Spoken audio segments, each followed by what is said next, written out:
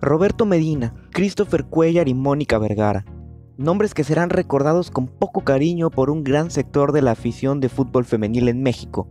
Y no, no cometieron algún crimen ni fueron los responsables de la pandemia. Simplemente fueron personas cuyas ideas y trabajo no fueron suficientes para sacar adelante a un equipo que ha crecido bastante en los últimos años futbolísticamente hablando. Y ahora, con la llegada del español Pedro López, el día de hoy quise hacer un breve análisis del tri femenil tanto de Roberto Medina, Christopher Cuellar y Mónica Vergara, desglosando lo que hizo cada uno y también arrojando algunos números de cada uno para los que les gustan las estadísticas. Así que sin más que decir, comenzamos. El tri de Roberto Medina. Comenzamos en orden cronológico. Eso quiere decir que iniciaremos hablando del señor Roberto Medina, quien estaría al mando de la Selección Nacional Femenil del 23 de enero de 2017 al 11 de enero de 2019. Medina debutó con una derrota ante Canadá en Vancouver por un marcador de 3 a 2 y estuvo por casi dos años en el banquillo del Tri, pudiendo presenciar los cimientos de la Liga MX femenil.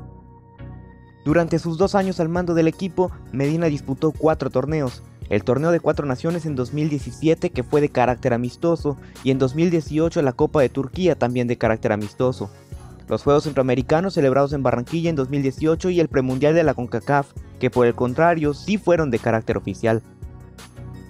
El torneo de cuatro naciones fue una de las primeras pruebas de fuego para Roberto Medina, y el resultado fue catastrófico.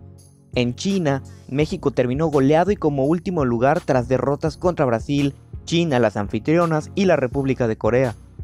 Sin embargo, para la Copa de Turquía se obtendieron mucho mejor resultado terminando segunda tras perder la final ante Francia, pero sacando los resultados contra Letonia y Polonia. Llegamos a los Juegos Centroamericanos y del Caribe que son los que respaldan el palmarés de Roberto Medina, pues el Tri fue una auténtica máquina durante todo el torneo.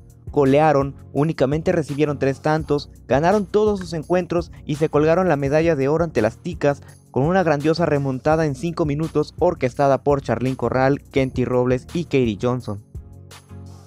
En julio, el equipo se sentía en la cima del mundo, pero un par de meses más tarde todo eso se derrumbaría, pues llegó el infame premundial de la CONCACAF en 2018, aquel torneo en donde Carly Lloyd le jaló el cabello a Cristina Ferral y el mismo torneo que es posiblemente uno de los mayores fracasos en la historia del tri femenil. Con una liga en ascenso, con un equipo que venía motivado y en buena forma, se pierde el boleto a Francia 2019 ante las panameñas. Pues tras la inminente derrota contra Estados Unidos, México dependía de sí misma para seguir aspirando a más. Pero el exceso de confianza de Roberto Medina y su falta de credibilidad en la Liga MX femenil le pasaron factura. México cayó 2 a 0 ante Panamá, se quedó sin mundial y Medina perdió su trabajo como DT. Números.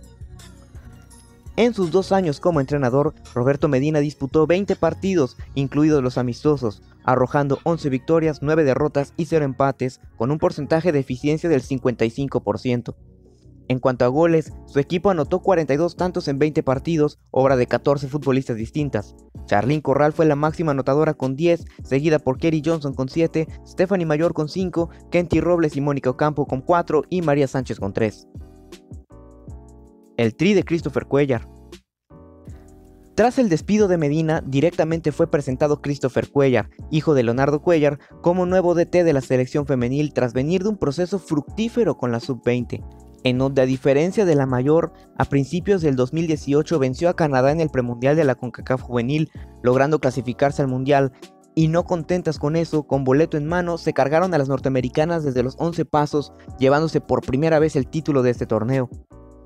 Cuellar fue presentado el 11 de enero de 2019 y estuvo al mando del equipo por dos años al ser cesado el 18 de enero de 2021.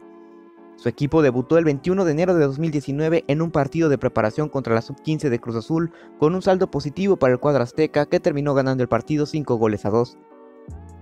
Cuando hablamos de palmarés nos quedamos sin qué decir, pues simple y sencillamente el tri femenil bajo la tutela de Cuellar no ganó absolutamente nada. Disputó cuatro torneos, la Copa de Chipre de 2019 y 2020, los Juegos Panamericanos de 2019 y el Proolímpico de la CONCACAF en febrero de 2020. En la Copa de Chipre de 2019 se quedó con el quinto puesto tras una goleada ante Italia, un empate ante Hungría y una victoria ante Tailandia. Finalmente se harían del quinto puesto al ganar el partido final a República Checa y así finalizaban su participación en el torneo. El siguiente torneo y la gran primera prueba para Cuellar fueron los Juegos Panamericanos celebrados en Lima, Perú. México comenzó el torneo venciendo por la mínima a Jamaica, perdieron contra Paraguay y firmarían su sentencia al empatar con Colombia, acabando así con las aspiraciones del Tri y enviándolas a un partido contra Panamá por nuevamente el quinto puesto. Después del monumental fracaso en Lima, a Cuellar le esperaba otra prueba de fuego, el Proolímpico de la CONCACAF. Ahí, Cuellar se jugaba la continuidad ante Canadá en fase de grupos, pues de ganarle evitarían a Estados Unidos en la fase final y así una inminente eliminación. México perdió contra Canadá y consecuentemente Estados Unidos las dejó fuera del torneo, perdiendo el boleto olímpico y consumando otro fracaso al nombre de Cuellar. Finalmente México participó en la Copa de Chipre de 2020, el último torneo en la era Cuellar, y ahí el DT envió un equipo totalmente alternativo, el cual no pudo sumar una sola victoria tras empatar tres veces ante Croacia, Eslovaquia y República Checa. Números Christopher Cuellar sumó 26 partidos como director técnico del Tri Femenil, de los cuales 11 fueron triunfos, 10 fueron derrotas y 5 de ellos empates, con una eficiencia del 42%. Pasando a goles anotados, han sido 48 tantos en esos 26 partidos entre 15 futbolistas diferentes. De nuevo, y a pesar de que fue separada del equipo por su evidente conflicto con la dinastía Cuellar, la máxima anotadora de este plantel fue Charlín Corral con 9 goles, seguida de Stephanie Mayor y Adrani Turbide con 6, Lisbedo Valle con 5, René Cuellar y Kiana Palacios con 4. El tri de Mónica Vergara. Mónica llegó al tri femenil justo después de que Cuellar fuese cesado y fue presentado oficialmente el 19 de enero del 2021, durando alrededor de año y medio con el equipo tras su despido el 15 de agosto de 2022. Momento de hacer el desglose de Mónica Vergara, y es que lo peor fue que Mónica solo disputó un torneo de carácter oficial con el equipo, y fue la peor presentación de México en un torneo oficial considerando los tres procesos incluidos en este video. Pues durante todo 2021, Vergara no disputó ningún torneo como tal, pero sí se le dieron infinidad de partidos amistosos contra grandes equipos, en donde el Tri incluso visitó varios inmuebles importantes en el país. Se midió ante rivales como Estados Unidos, Japón, España y Canadá, venciendo estas últimas para cerrar el 2021. Cabe destacar también que la presentación de Vergara con el tri femenil sucedió en el Estadio Azteca contra el equipo de Costa Rica en donde las mexicanas sacaron el triunfo 3 goles por 1.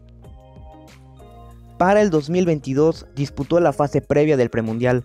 Todo fueron goleadas y alegrías contra equipos como Puerto Rico y Anguila, pero todo se vino abajo con el premundial de 2022.